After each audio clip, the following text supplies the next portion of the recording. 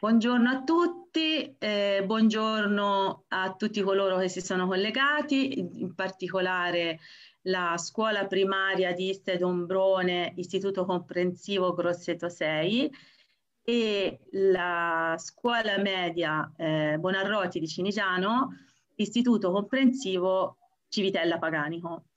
Vi ringrazio tanto di esservi collegati in questo momento così difficile per la nostra provincia, per il nostro comune, per il nostro territorio. Come vi ho detto prima, i bimbi di Istia sono collegati da casa perché il comune di Grosseto è in zona rossa proprio da oggi, e, mentre i ragazzi di Cinigiano sono a scuola nella loro classe, la terza media appunto di, di Cinigiano. Io ora passo la parola al vicepresidente, a uno dei due vicepresidenti ISGREC, eh, Stefano Campagna, per un saluto eh, istituzionale. Allora, eh, buongiorno a tutti e a tutte, eh, benvenuti. Eh, è un piacere eh, avervi qui, anche se diciamo in maniera virtuale. Um, oggi siamo qua a presentare questo evento a Maiano Lavacchio, il luogo, la memoria e eh, la storia, un evento che come Istituto Storico Grossetano della Resistenza e dell'età contemporanea um, abbiamo uh, concepito per uh, presentare i lavori delle classi uh, elementari delle, delle, elementari e delle medie di Ischia di Ombrone e di eh, Cinigiano che hanno partecipato ad alcuni eh, laboratori organizzati dal nostro eh, istituto eh, nei, nei, mesi scorsi.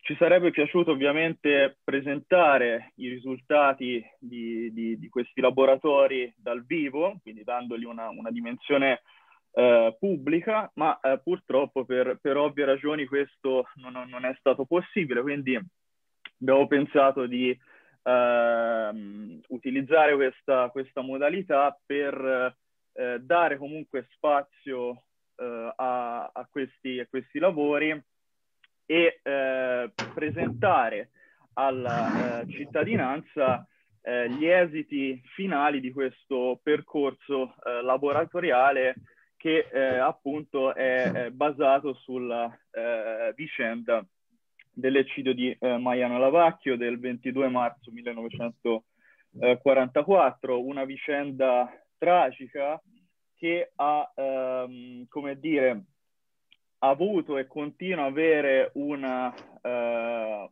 un impatto uh, veramente uh, forte nella memoria collettiva della, della nostra eh, comunità e come tale è necessario eh, continuare ad, ad alimentarla.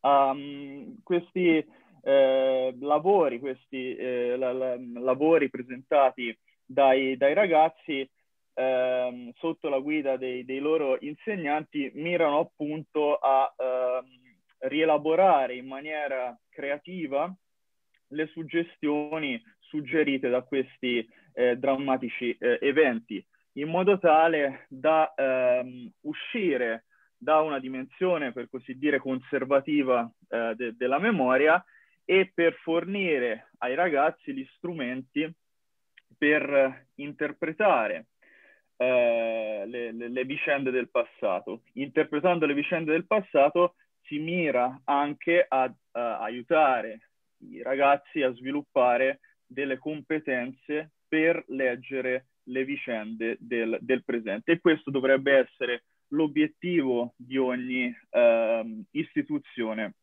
come la nostra. Io eh, mi fermo qua, eh, passo la, la, parola a Elena Bellati che eh, introdurrà i lavori e eh, vi ringrazio della, della partecipazione. Grazie Stefano della, del saluto eh, che ci hai voluto fare. Eh, io per quanto mi riguarda ringrazio tantissimo gli insegnanti, eh, doc le docenti e i docenti delle scuole con le quali eh, sono entrata in contatto e con le quali ho potuto effettuare questi laboratori. Eh, in particolare voglio anche salutare, oltre alle classi presenti, anche la, eh, la scuola primaria di Monticello con la quale mh, abbiamo iniziato a lavorare e spero che eh, si possa continuare anche in futuro perché l'ambiente diciamo, è stato molto positivo e le suggestioni che ne sono uscite sono veramente molto positive.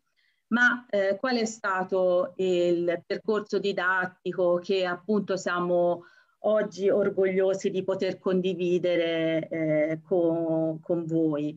È, ehm, gli esiti materiali prodotti eh, sono quelli che vedrete, ma gli esiti veri sono quelli, come diceva prima Stefano, eh, sono quelli che ogni insegnante si augura nel profondo, cioè la formazione eh, delle coscienze. Eh, è questo in realtà quello a cui tutti miriamo e nella vicenda dei martiri di spunti veramente di riflessione eh, ce ne sono tanti. Qual è stato il nostro intervento, l'intervento dell'Istituto Storico? È un intervento che si, che si inserisce nella scia di una didattica laboratoriale a lungo praticata e agita eh, da noi e da tutti gli istituti della rete Parri che da moltissimi anni ormai hanno fatto della didattica della storia una delle cifre distintive delle proprie attività. È una didattica che si collega alla ricerca, creando un, un circolo virtuoso tra istituti storici, scuole e accademia e che ha fruttato appunto alla rete Parri anche un prezioso riconoscimento, cioè quello di agenzia formativa per il personale scolastico riconosciuta dal Ministero dell'Istruzione. Si tratta di una didattica laboratoriale volta a mettere gli studenti in contatto con le fonti, le fonti storiche, cioè come si fa, come si fa la storia. Le fonti storiche che sono costituite, costruite, eh, che, che, servono per costruire una sorta di, di laboratorio, di, di, di, officina dello storico eh, e quindi eh, con i ragazzi si interrogano i documenti per poi giungere a una ricostruzione, a una, a una interpretazione. Chiaramente questo non con la finalità eh, e con l'intento di tirare su una generazione di piccoli storici, sarebbe molto bello, ma ovviamente ognuno seguirà poi i propri percorsi di vita e le proprie scelte, ma l'intento principale è quello di capire come funziona il racconto storico, da dove eh, il racconto storico prende le mosse. L'intento quindi è quello di far parlare le fonti, toccare attraverso di loro la materia della storia, avvertirne la struttura, il tessuto, come questo tessuto poi si fonde anche con i territori. Eh, e quindi con i ragazzi abbiamo fatto, a seconda delle loro età, età eh, delle loro caratteristiche, delle scelte diverse didattiche, con i più piccoli che non hanno all'interno dei loro curricoli di storia lo studio dell'età contemporanea, ci siamo fidati molto della professionalità e della preparazione delle loro docenti eh, che hanno lavorato sui contesti perché proprio docenti sensibili e competenti. E quindi è stato possibile affrontare l'argomento della seconda guerra mondiale, in particolare dopo l'8 settembre, quando i giovani italiani furono chiamati a operare una scelta, una scelta difficile. Eh, e quindi poi con i ragazzi della primaria abbiamo raccontato una storia, abbiamo visto gli undici ragazzi in, in volto, da vicino. Molti di loro erano di Istia e i bimbi conoscevano le famiglie che ancora sono presenti sul territorio, hanno suggerito tante cose, ne abbiamo parlato.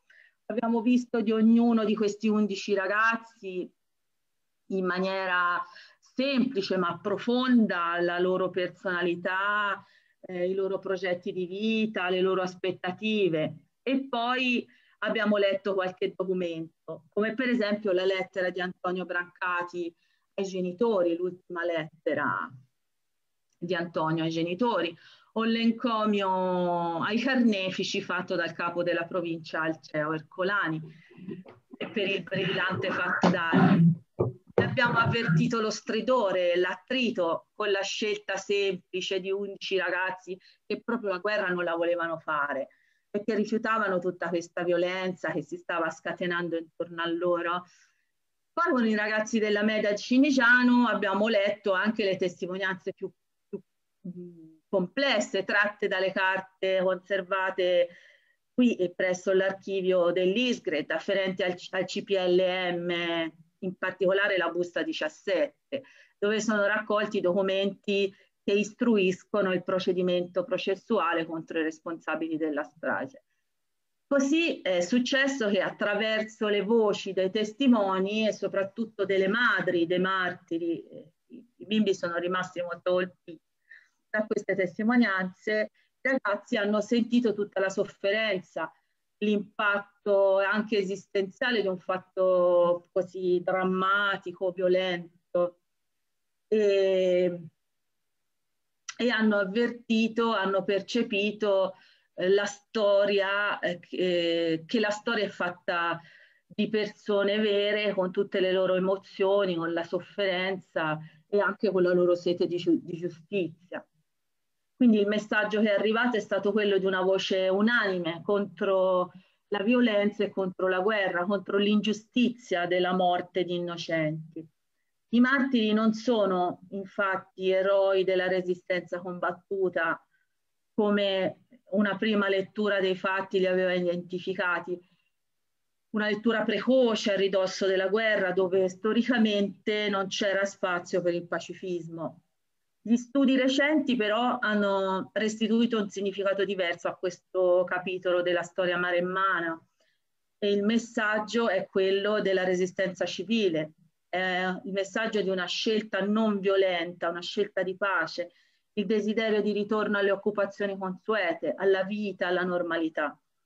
Una scelta che li ha condotti a testa alta un epilogo drammatico, ma che è un esempio per molti ed è rimasta indelebile nella memoria se oggi dopo 77 anni eh, stiamo qui a ricordare quel giorno terribile ma che ha un, significato profondissimo per le genti di Maremma.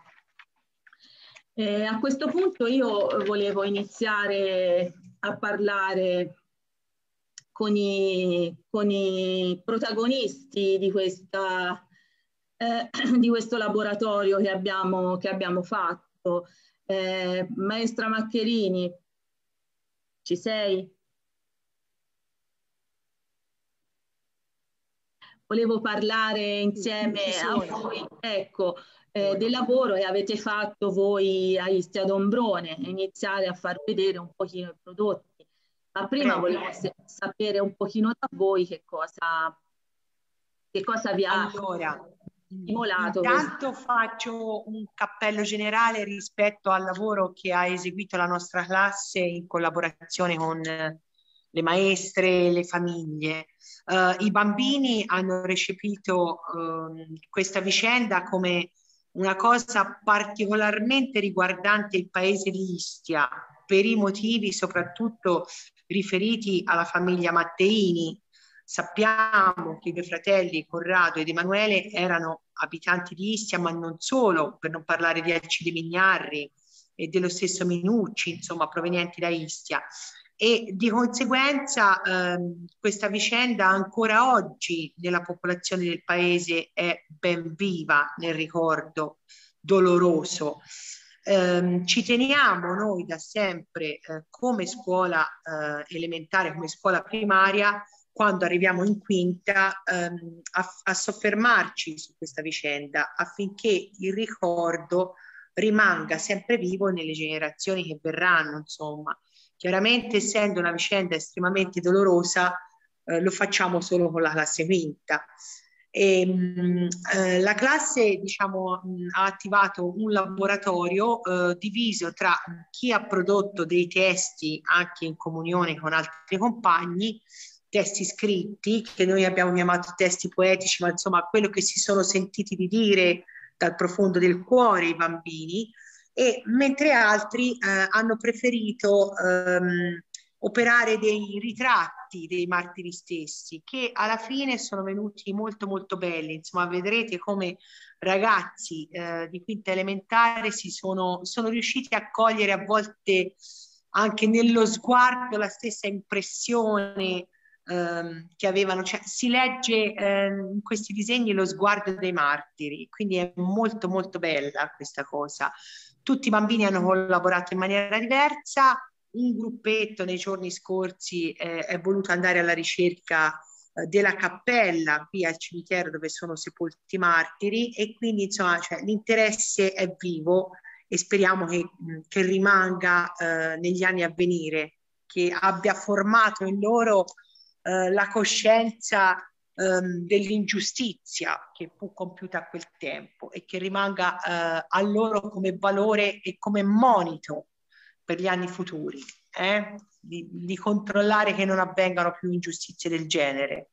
Mm. Ringrazio la professoressa Elena per la collaborazione, è stata una guida sapiente, ha saputo coinvolgere i bambini con le sue letture e poi lei vi dirà i prodotti che, che sono fuoriusciti da, questa, da questo laboratorio. Prego. Grazie. Senti, senti eh, Emanuela, volevo sapere, i bimbi hanno intenzione di leggere le loro, le loro sì. poesie? Mm. Sì, Presentiamoli, sì. presentali te che li conosci meglio. Allora, partirei intanto, sto vedendo, adesso sono collegata con il telefono perché con il computer ho avuto dei problemi, sto vedendo eh, di fronte a me Emma, eh, scusate, fatemi controllare se ho anche Rocco. Sì, Rocco. Ce la fai Rocco a leggere intanto la, la presentazione di cui avevamo parlato? Prego Rocco, allora se ce la fai comincia a leggere. La... Prego Rocco, a te la parola. La commemorazione dei martiri. Ogni anno gli alunni di quinta della nostra scuola partecipano, partecipano alla commemorazione dei 11 ragazzi uccisi presso Maiano Lavacchio, nel comune di Maiano. Purtroppo anche il prossimo 22 marzo non potremo partecipare a causa del Covid, perciò la commemorazione sarà effettuata via internet. Noi bambini di quinta, insieme alle, alle nostre maestre, abbiamo preparato una raccolta di disegni e poesie per dimostrare quanto questa triste vicenda ci abbia colpiti. Prego, io darei adesso la parola a Viola perché addirittura il testo che lei ha scritto, la piccola poesia che lei si è scritta, se l'ha imparata a memoria. Grazie Rocco. Posso dirla? Sì, vai. I martiri di Istia. I martiri di Istia erano solo ragazzi che non avevano fatto nulla, ma furono fucilati perché pacifisti, renitenti alla leva, le loro madri tristemente baciarono i piedi della gente, più precisamente dei soldati, solo perché i loro figli venissero salvati. Ma così non andò e il fascismo undici ragazzi innocenti trucidò. Grazie. Grazie, bellissima. Prego, abbiamo, credo, se andiamo avanti su questo filone, abbiamo Edoardo.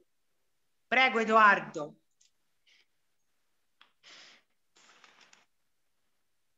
I martiri, undici ragazzi, undici figli, erano rifugiati a Monte Bottigli, vennero scoperti e catturati. La mamma implorò i soldati, ma alla fine vennero giustiziati.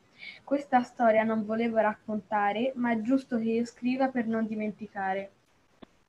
Grazie. Bravo. Chi abbiamo? Scusatemi, dovete alzare la mano perché a questo punto io li avevo raccolti, ma non avendoci scritto il nome non Emma, riesco a capire. Emma che c'ha la mano alzata. Prego, Emma. I martiri di Istia. Undici ragazzi coraggiosi sono morti a causa dei fascisti furiosi. Ragazzi completamente disarmati, contro 104 uomini armati. Le loro madri, completamente affrante, baciavano i piedi dei fascisti, implorandoli di non fargli fare una morte così atroce, per non aver fatto niente. Undici ragazzi renitenti alla leva, uccisi senza neanche una processione degna. Così il parroco li presi, li mise in un carro e arrivato al cimitero li seppellì e loro poterono continuare nella retta via. Grazie. Molto, molto bella.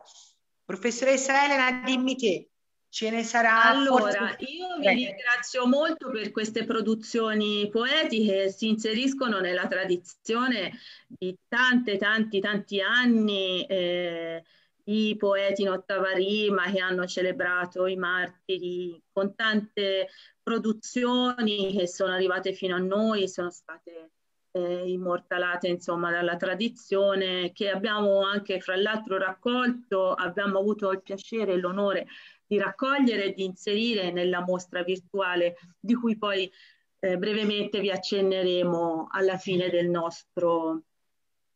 A questo punto io volevo far vedere a tutti e condivido il mio schermo,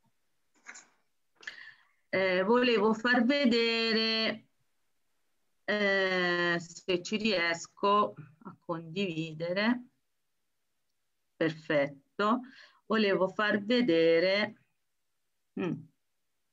ecco, i disegni che avevano fatto i bimbi di Istia eh, questa è la copertina, avevano fatto, eh, grazie a una foto eh, che ci aveva eh, trasmesso Barontini, eh, questa eh, la, la, la, rappresentazione della capanna distrutta e arsa dove i martiri si nascondevano.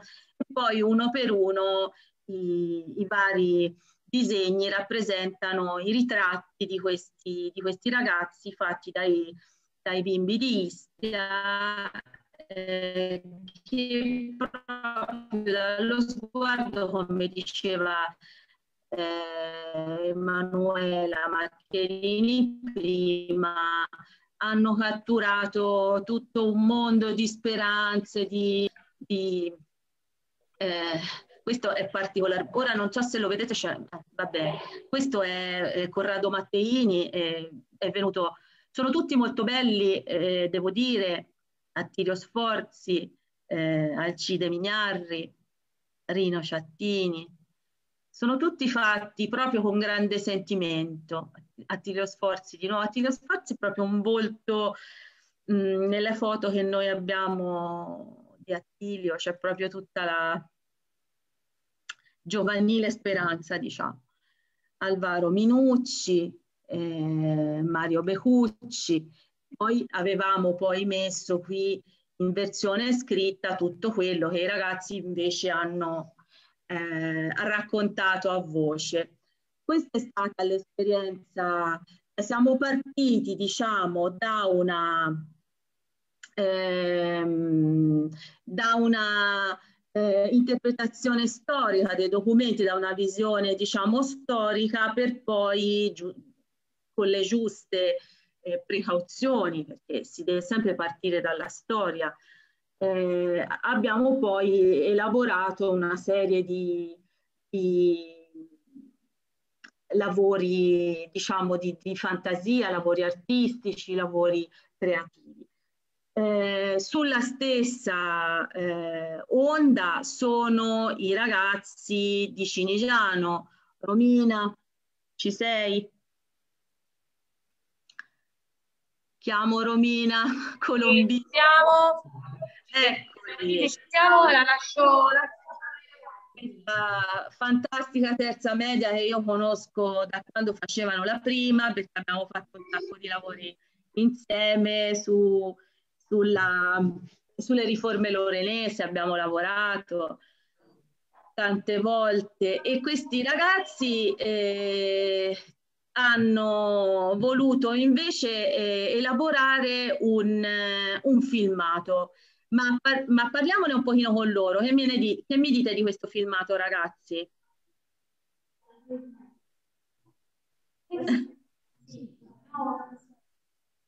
Buongiorno a tutti, noi siamo la terza media di Cinesiano e oggi siamo qui per presentarvi il nostro lavoro. Inizialmente abbiamo partecipato al laboratorio storico con Elena Vellati organizzato dall'ISGREG e poi abbiamo, successivamente abbiamo realizzato un video dove è presente una presentazione, una testimonianza ufficiale, eh, due testi scritti da noi, tra cui uno è frutto di ricerche storiche, mentre l'altro è una lettera eh, frutto della nostra immaginazione. Buona visione.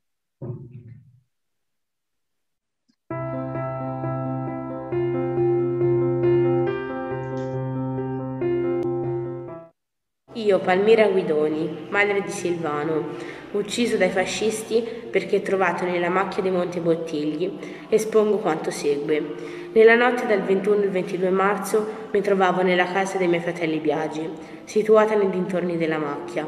Alle ore circa uno e mezzo busso alla porta Raciti Lucio, guardia repubblicana, e non appena aperto fu invasa la casa da un numero rilevante di fascisti e tedeschi, che commise ogni, ogni sorta di soprusi.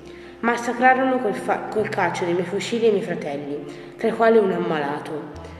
Commisero tutto ciò perché la Speraciti in precedenza fu ospitato con fiducia dai miei fratelli.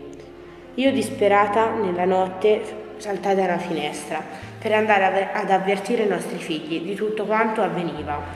Ma mi spararono e fui ricondotta in casa. Mentre stavo tornando indietro, a un certo punto della strada incontrai fascisti che venivano nella mia direzione cantando. Avevano già compiuto l'assassinio. Io non capii più nulla, corsi come pazza e mi trovai dinanzi a undici creature colpite a morte in un lago di sangue. Sappiamo che il Puccini, dopo la cattura dei nostri patriotti, si fermò dal prof. Andrei Cesare, suo amico al suo podere, con il quale cordialmente si salutò ed esso il Puccini disse Abbiamo preso 11 ribelli, ora li infilziamo tutti. Si prega a prendere le misure del caso ed agire senza clemenza verso tutti i responsabili. Piero Grazzi, originario di Cinigiano, fu una vittima dell'eccidio di Mariano Lavacchio nel 1944. Era il 22 marzo, quando nel comune di Mariano in Toscana avvenne questo tragico evento. Dopo un processo sommario per mano fascista, 11 ragazzi furono fucilati e fra loro anche Alfiero. Lui aveva solo 19 anni ed era ancora uno studente. Nel 1943 fu arrestato per aver rifiutato la chiamata alle armi. Fu portato alla prigione di Firenze, da dove fuggì per poi nascondersi a Montebottigli, dove poi morì.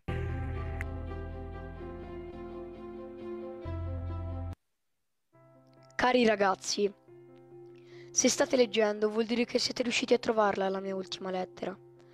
Sono consapevole di morire, ma provo comunque a scriverla. Io non ho paura, ho fatto tutto quello che volevo fare e non mi pento di nulla. Dite alla mia cara mamma che non si deve dispiacere per me e che le voglio bene. Dite a mio padre che anche se non gliel'ho mai mostrato, ci ho sempre tenuto a lui. E infine salutate tutti i miei amici. Tutti gli altri dieci ragazzi accanto a me sono disperati. Sento piangere fuori le mamme e non posso fare nulla. Quando sono stato chiamato direttamente dallo Stato, io e i miei amici siamo scappati spaventati. Avevamo paura della guerra, paura di morire e soprattutto non volevamo più seguire le regole dello Stato fascista.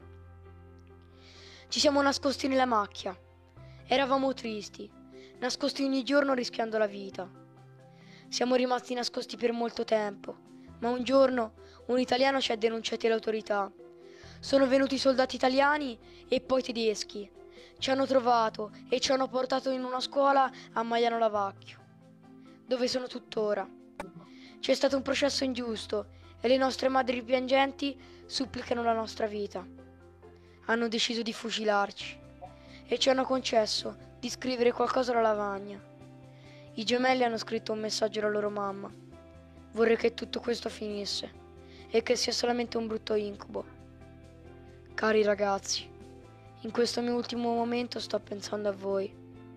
Vi raccomando, fate sempre ciò che è giusto fare. Distinti saluti. Grazie al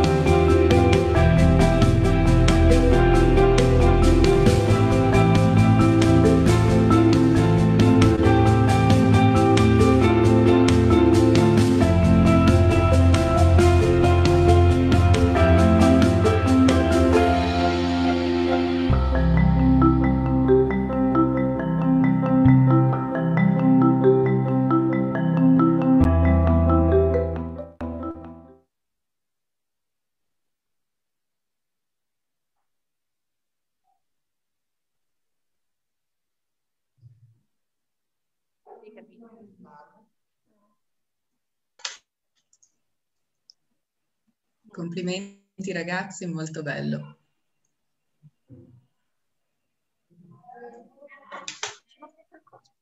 Grazie davvero, allora. Romina. Eh, ce la facciamo?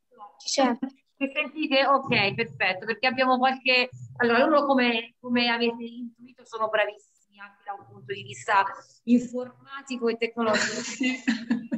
Sto cercando di imparare da loro come affrontare la mattinata, perché non è semplice. Fortunatamente loro sono bravi. Sì, cogliamo l'occasione per ringraziare Elena per il laboratorio che abbiamo fatto con lei e la possibilità che ci ha dato di, riflettere e soprattutto di eh, anche rivivere parte della nostra storia locale, della nostra realtà, lo hanno sentito profondamente in questo lavoro perché li riguarda in, come prima persona, uno dei ragazzi era appunto di Cineciano e dunque si sono adoperati per cercare di ritrovare la casa, i parenti, hanno poi trovato anche ehm, delle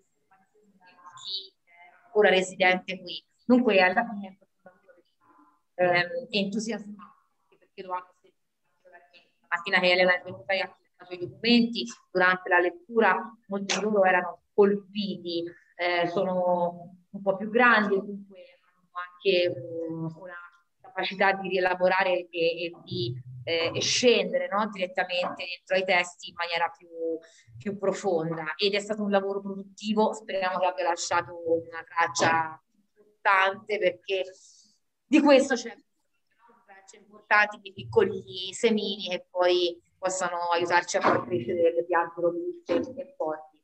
Grazie. Grazie a voi. Eh, qualcuno dei bambini vuole, vuole leggere, vuole parlare? Prima avevo visto delle mani alzate, mi dispiaceva non avergli dato spazio eh. Scusate, sono l'insegnante Emanuela Maccherini, non so sì. se Christian vuole raccontare l'esperienza, se c'è ancora, di quando sono andati ehm, mm-hmm. al cimitero o Rocco alla ricerca. Facciamo parlare Christian Rocco adesso. Prego Christian.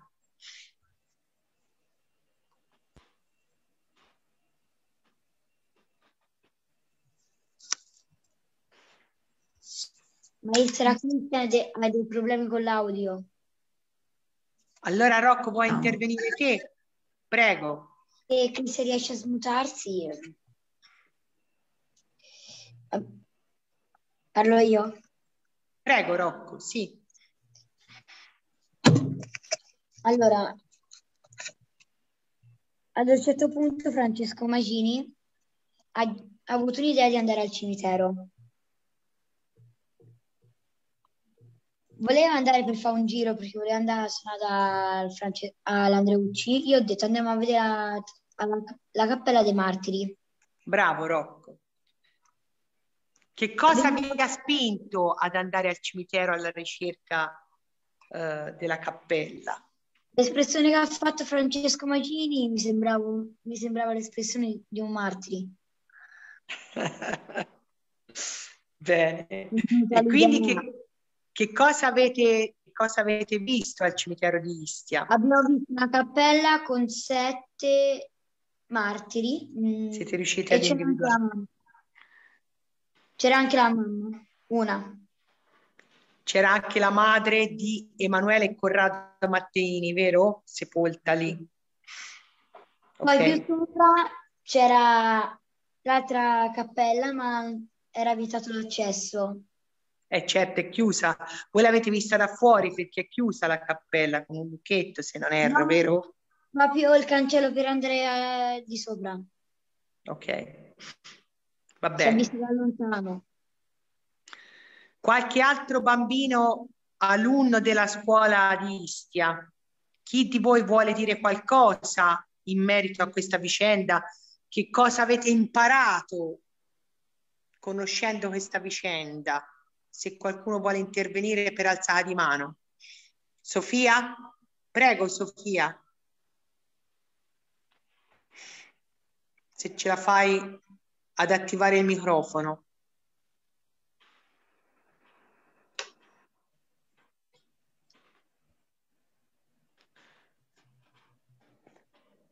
Eh. Qualcun altro vuole alzare la mano, vuol dire qualcosa? Dei Se possiamo, possiamo, forse attivarlo da qua. Eh, ma attiva il microfono. Sì, eh, volevo dire che praticamente loro non volevano andare a fare la guerra, ma i fascisti l'hanno fucilati lo stesso perché secondo loro non servivano a niente.